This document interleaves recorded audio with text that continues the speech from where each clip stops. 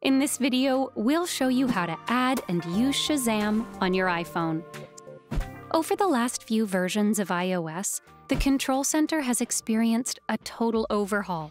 And now that Shazam is a part of Apple, we can add a Shazam button directly to the Control Center.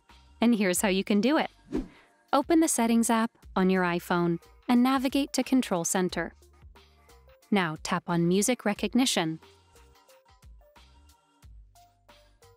Once you select it, you will see that it appears in the Included Controls section.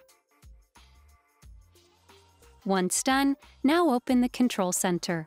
When you want to recognize a song or a song is playing nearby, tap on the Shazam icon and wait for your song to be recognized. After the song is recognized, you will be notified.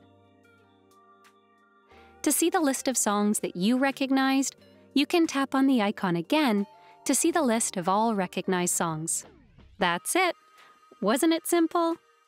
This video will surely help you to add and use Shazam effectively on your iPhone. Subscribe to Guiding Tech and delve into one of our specially curated videos just for you.